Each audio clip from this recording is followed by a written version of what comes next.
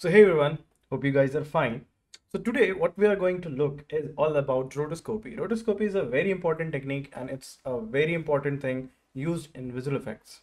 Basically, rotoscopy is a type of 2D animation which help to out the cut out this character from a particular video.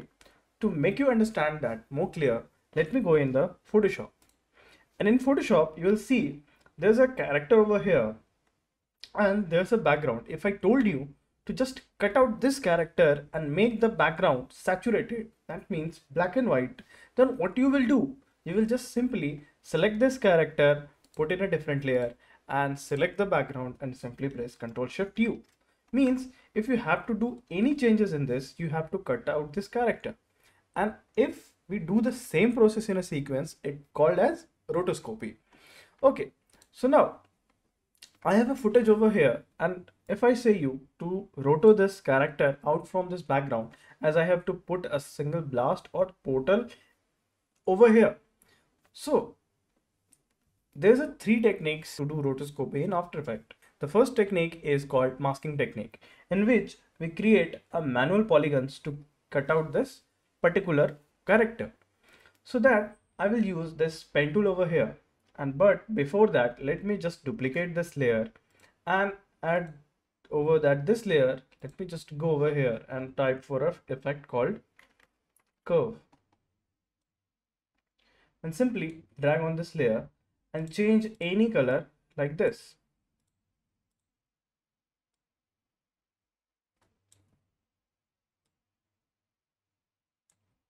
So it's a bit different in color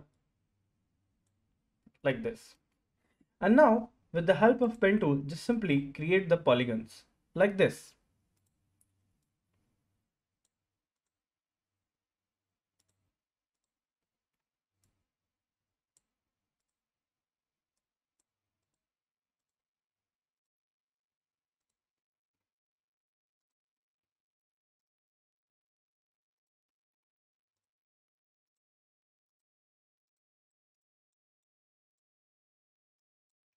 Now you will see why when I connected this whole uh, like line, then it became a polygon.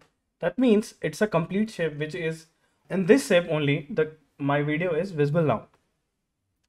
You see over here, there is an option activated over here called mask.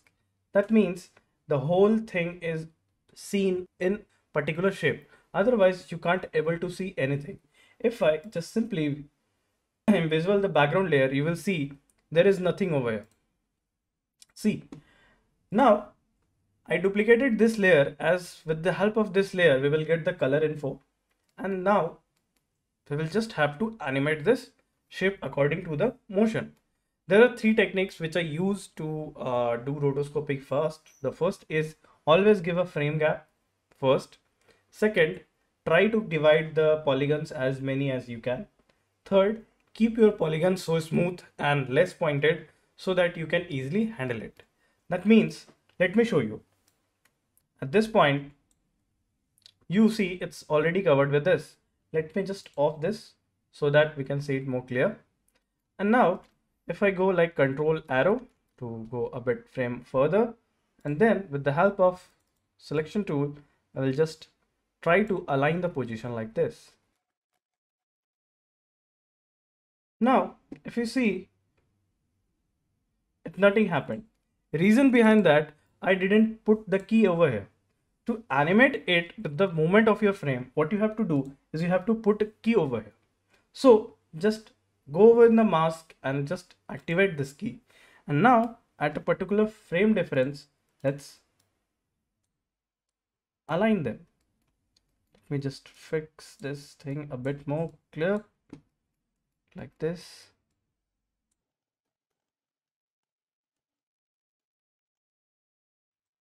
Like this. Now move a bit move some frame further like control arrow and then select them and align. Like this.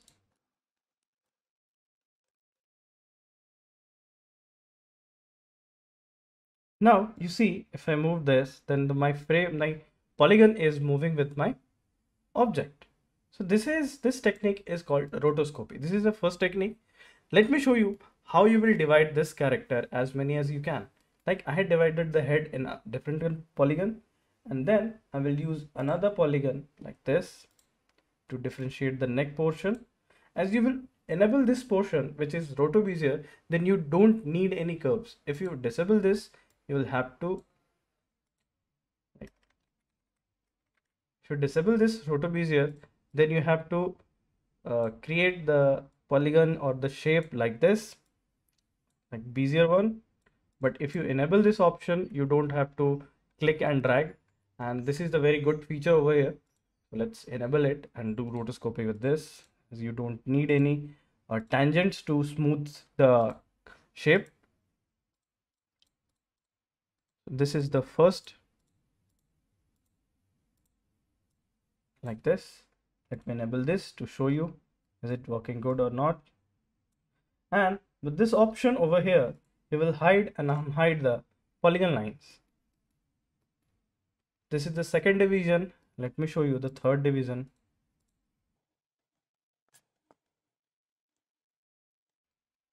Now divide the arms different.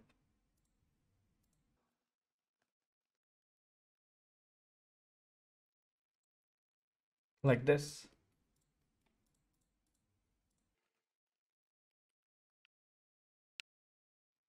So now I had divided this like in two different ways. Now this portion will divide the whole in one polygon.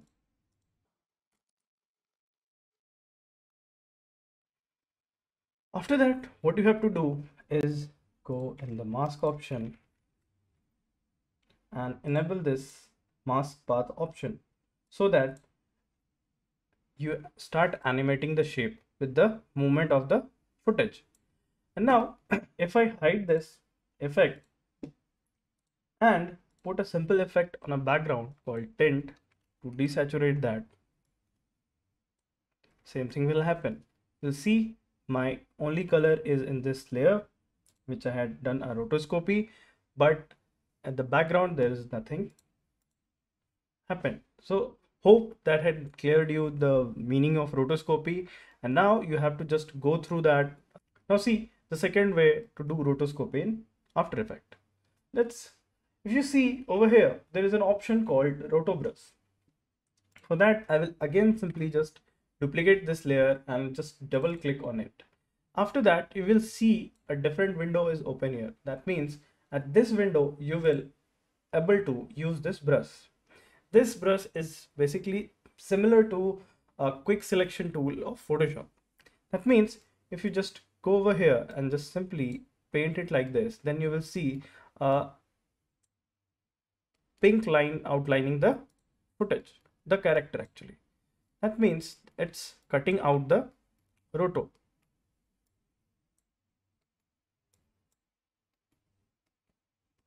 Now, if you see over here, there is a simple arrow. Means if you just move a bit forward like this control arrow. See started.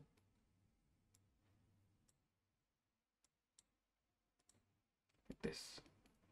If something happened like this that your roto just moved a bit further um, then to erase that what you have to do is just press alt and just click like this.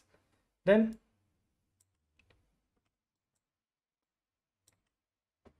okay. Now just move a bit further.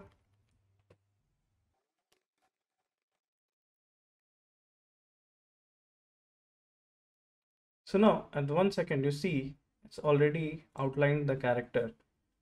Then let me just get back to the composition where you will see what happened for that let me just off the background layer and see it had already helped us to cut the roto. But there is a small difference that it has a flicker at the head. See over here. So you have to be very careful if you are doing roto with the roto brush. Now to just smooth the lines what you have to do is just go with the feather option like this. Shift edge a bit to just keep it outlined or just uh, minus the sh shift edge and um, like inner. Also to reduce chattering just increase this. Use motion blur. Now you see it's like much better now. But there's a jitter over here and here also. But, but that's not a perfect way to do the rotoscopy perfect way to do rotoscopy is the first way which I had shown you with the help of mask and the last method which you use to do rotoscopy in After Effects is with the help of Mocha Pro. Now let's have a look how we will use that. So you will effect uh, an animation, go in animation, select the layer and just go in animation and over here just activate this track in Boris FX Mocha. And after that you will see there's an option over here called Mocha AE. After that when you click on this icon then you will get back to a new software called Mocha. And now what you have to do is you have to cut out the roto with the help of tools. In Mocha, rotoscopy is a bit easier as it help you to do tracking and rotoscoping simultaneously. Let me show you how. Go in the X spline or B spline, whatever you want to do. And with the help of Z, zoom out, zoom this and just make a simple bezier like this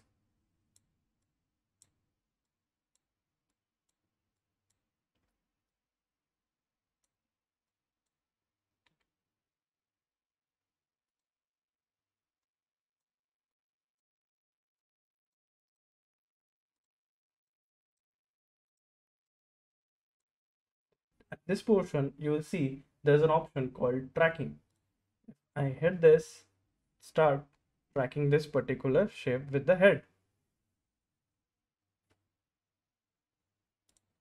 At this point, you will see there is a bit of mistake over here. So let me just correct this, this.